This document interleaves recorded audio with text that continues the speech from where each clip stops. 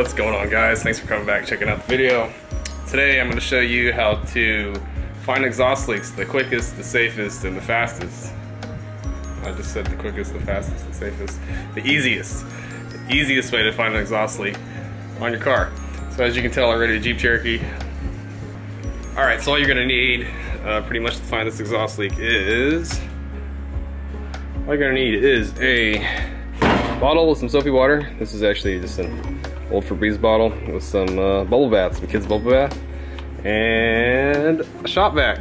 Okay, so with the shop vac, uh, you have two sides of a shop vac. This is the side that sucks in all the dirt, and this is the side that just blows all the air out. And what you're going to be using is you're going to be using the side that blows out. So you're going to want to connect your hose to the side, connect your hose to the side, blows the air out.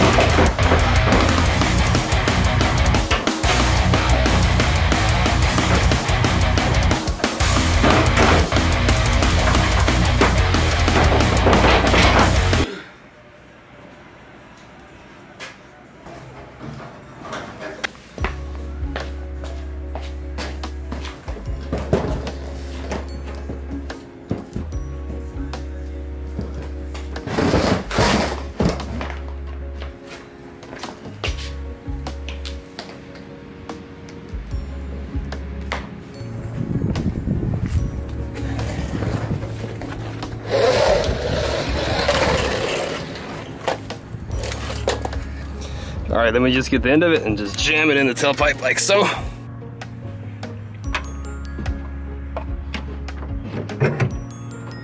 All right, so now that I got the shop vac hooked up to the exhaust, uh, when you turn it on, it should blow just the right amount of air through the exhaust system where you can use uh, your bottle and some soapy water and pretty much spray it all over all the joints wherever you think the leak is coming from.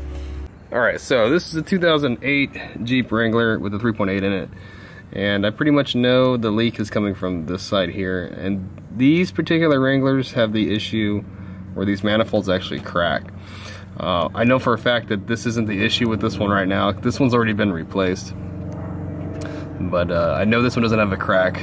But with this method, you can find, you know, cracks. You can find out if you have gasket leaks here or if you have gasket leaks down here, okay? So what I'm gonna do is go turn on the shop vac, it's gonna get kind of loud, and use the spray bottle full of soapy water and spray it all over the area, I think, uh, where the leak's coming from.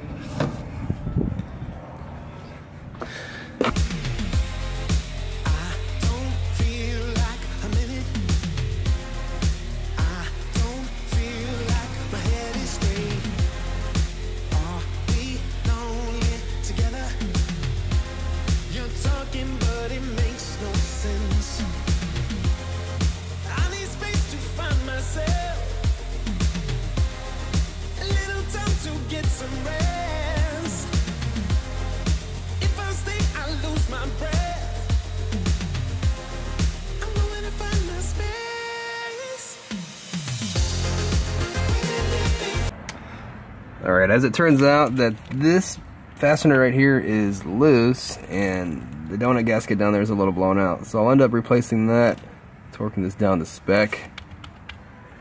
And uh, that's pretty much the easiest way to find an exhaust leak.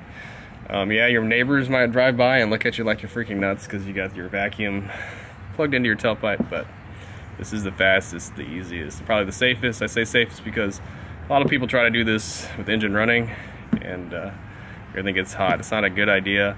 Uh, people get under the car with the engine running. It's not a good idea because everything's real hot. It doesn't give you a lot of time to actually find an exhaust leak with a spray bottle if it's getting hot. So it is the uh, pretty much the, the safest way.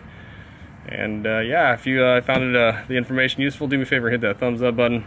If you want to see more, please hit the subscribe button. If you have any questions, just leave them down in the comment box below. And uh, hope to see you in the next one. You guys take care, be safe. Have a great weekend later.